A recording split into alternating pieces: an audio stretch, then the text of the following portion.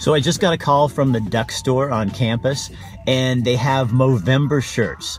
Their artists went to put their little magic creative abilities to work, and they created a Movember T-shirt. It's a Duck Movember T-shirt, and some of the proceeds go to the Oregon Cancer Foundation. Come on, let's go inside, and I'll show it to you. It's really cool. Right when you walk in the front door, there they are.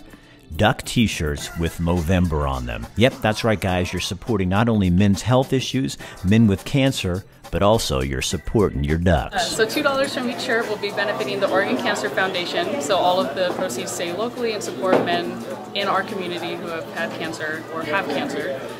Guys all over town are already growing out mustaches and facial hair. Imagine a sea of these shirts at the next game.